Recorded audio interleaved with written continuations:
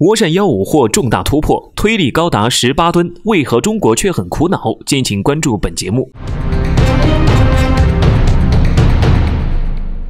近日，俄罗斯网站《军事百科全书》报道称，涡扇幺五已成为中国航空工业面临的一个主要问题，也是中国为第五代战机配备的国产引擎。我们做到了。在该口号的宣传材料已经被媒体出版。中国宣布研制成功这种被称为“俄媒”的第五代航空发动机。涡扇幺五的加力推力为十八吨，已超过 F 二配备的 F 幺九发动机的十五吨，将赋予歼二零更为优秀的超音速巡航能力和超机动作战能力。然而，中国正在为涡扇幺五带来的出乎意料的高燃油成本而苦恼。文章称，现代发动机的制造需要几十年时间，其主要参数是尺寸、重量、牵引力和寿命。在实际使用时，一个最重要的指标是油耗，同时还关系着战斗机的作战半径。涡扇幺五采用了小涵道比设计，其均推力量更大，也因此让五代机获得超音速巡航能力。缺点就是耗油，与 AL31F 发动机相比，涡扇幺五在非加力状态下的平均耗油量增加了百分之二十七，在加力燃烧室中又增加了百百分之九到十，而发动机实力推力只多了百分之十七。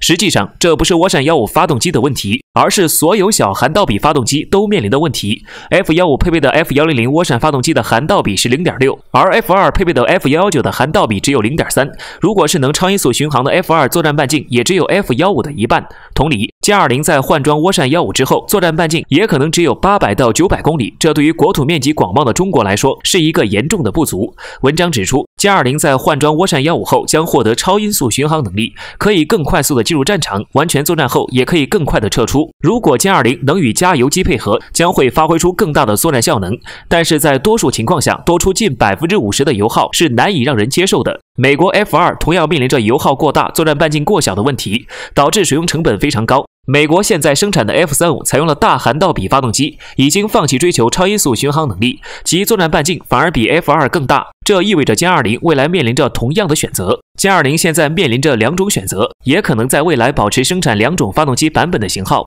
一种装备涡扇幺零改发动机，虽然没有超音速巡航能力，但是作战半径能达到一千五百公里，携带四个副油箱时，甚至能达到两千五百公里。另一处是装备涡扇幺五的歼二零，其具备空中加油能力，作战半径为八百到九百公里，携带四个副油箱时，作战半径为一千五百公里。涡扇幺零版的歼二零实际上对中国来说意义更重大，可以大大弥补隐形战机数量不足的问题。未来可能列装数量更多。涡扇幺五版的歼二零更像是刺客，在出现突发状态时可以更快速的到达战场，使用成本更高，装备比例可能要少一些。